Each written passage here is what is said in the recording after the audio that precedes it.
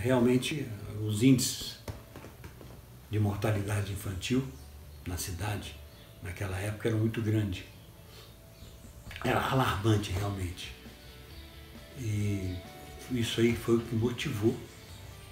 E o estado de pobreza do município também. Foi isso aí que motivou a criação da pastoral da criança. A desnutrição.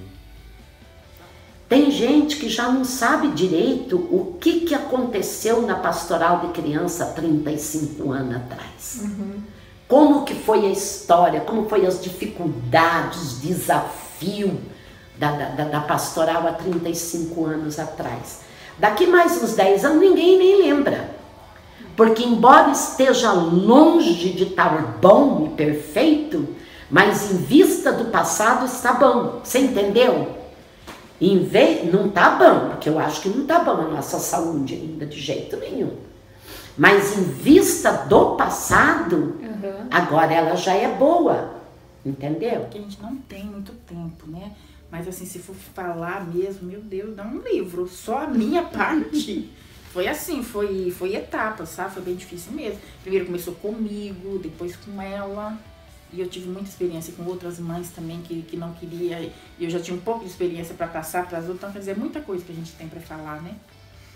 Se, se, só assim, com uma, com uma mistura, com, com assim, uma conversa, uma conversa, alguma coisa assim, você já se sente. Imagina você fazendo auxiliar de enfermagem numa cidade que o que mais tem aqui dentro do seu hospital é criança com vômito e as mães não sabem se fazer, não uhum. sabem. Não, eu quero, ai, precisa dar uma injeção, precisa tomar um soro. Gente, não é assim.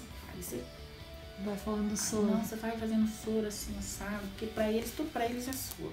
Incrível. Olha, se não fosse a pastoral, você não era avó. Imagina, e não é só eu não. Tem muita gente mal, assim, mal agradecida.